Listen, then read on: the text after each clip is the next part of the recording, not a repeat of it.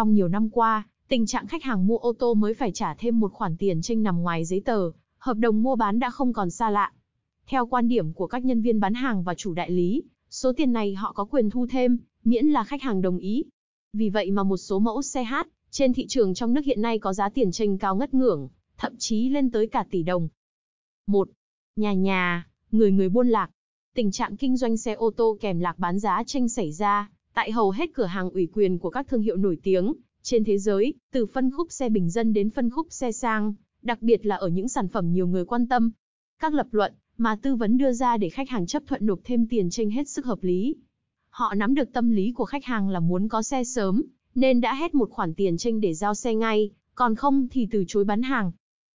Tại các đại lý của Toyota và Hyundai, các mẫu xe mới và có sức hút như Hyundai Creta 2022, Toyota Veloz Cross hay Toyota Rise đều bị tranh từ 20 đến 50 triệu.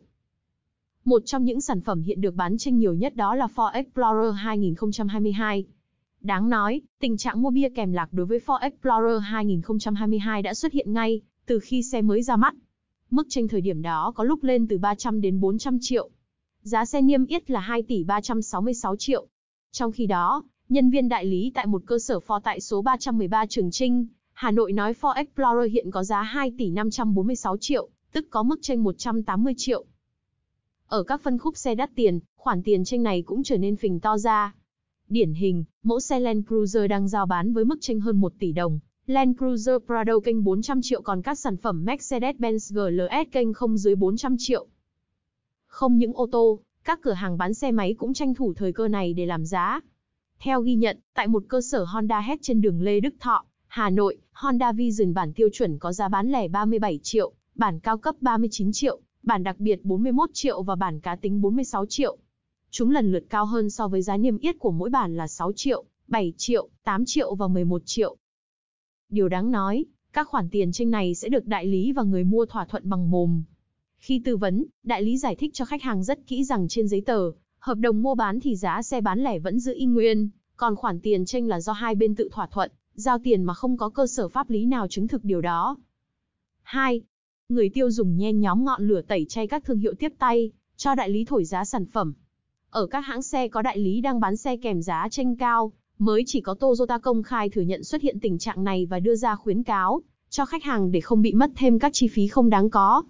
Dù không thể giải quyết triệt để, nhưng sau khi hãng xe Nhật Bản có thông cáo, nhiều đại lý Toyota tại Hà Nội đã minh bạch giá xe hơn, cam kết bán xe mà không có tiền kênh, những sản phẩm nào hiện hết hàng chưa rõ được thời gian xe về thì không nhận cọc nữa. Tuy nhiên, các thương hiệu khác vẫn giữ thái độ im lặng, không có hành động quyết liệt để bảo vệ quyền lợi người tiêu dùng. Khi nhu cầu sở hữu phương tiện cá nhân tăng chóng mặt như hiện nay, vấn đề ngang nhiên làm giá của các đại lý càng được dư luận quan tâm, chú ý. Không khỏi bức xúc trước tình hình nhiều người phải chi tiền vô tội vạ, anh Luân, chú tại phường Tân Bình, tỉnh Bình Dương nói, hiện nay, các dòng xe cùng một phân khúc có giá thành tương đương nhau rất đa dạng. Trong nền công nghiệp cạnh tranh khốc liệt như sản xuất ô tô, xe máy, các hãng xe luôn biết cách tung ra những sản phẩm mà đối thủ trực tiếp của chúng là những chiếc xe ngang bằng về chất lượng, nhưng đến từ các thương hiệu khác. Do đó, không có lý do gì để chúng ta phải nhất nhất chọn một mẫu xe, rồi chấp nhận chi thêm tiền tranh để sở hữu nó. Số tiền bỏ ra đó thực sự không đáng. Hãy tránh xa các thương hiệu có đại lý bán xe với các tiền tranh, để tiết kiệm một khoản tiền lớn cho bản thân và gia đình.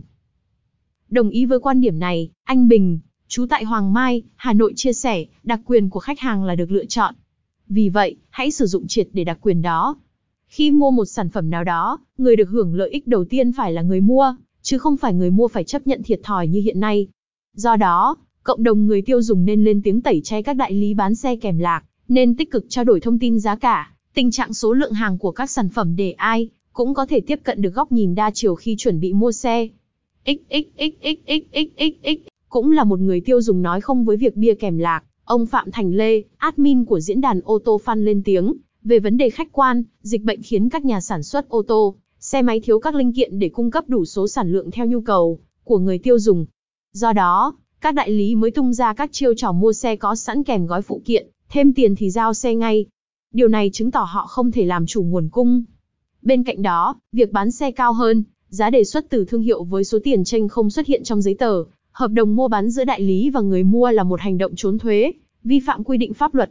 Vì vậy, khách hàng hiện nay phải hết sức thận trọng tỉnh táo khi đi mua xe để tránh tình trạng bị làm giá, không phải bỏ ra số tiền cao ngất ngưởng để sở hữu những gói phụ kiện, không mong muốn hoặc đặt cọc rồi những ngày giao xe mãi còn xa. Có thể nói, các đại lý bán xe đang dùng thói kinh doanh chộp giật, không nghĩ đến đường dài. Thay vì góp phần phổ biến hóa các sản phẩm được tung ra thị trường, họ chỉ tập trung bán hàng cho những người có tiền, sẵn sàng mất thêm khoản tiền không đáng có để sở hữu phương tiện. Bên cạnh đó, việc tự thu lợi từ khoản tiền tranh là hành động trốn thuế, góp phần gia tăng lạm phát tại Việt Nam.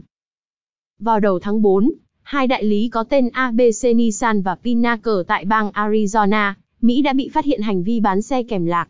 Rất giống với ở Việt Nam, nhân viên ở hai cửa hàng này tuyên bố thẳng thừng với khách hàng rằng, nếu người mua không chấp nhận mua thêm các gói trang bị bổ sung, họ sẽ bị từ chối mua xe.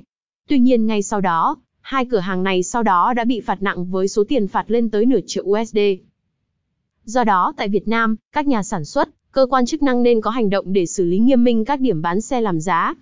Quan trọng hơn cả, người tiêu dùng cần sử dụng đặc quyền của họ để thận trọng hơn khi mua xe. Hãy nhớ rằng chúng ta chấp nhận trả thêm tiền tranh, thì cũng là đang tiếp tay cho những hành vi làm lũng đoạn thị trường ô tô Việt Nam. Xe cộ, XL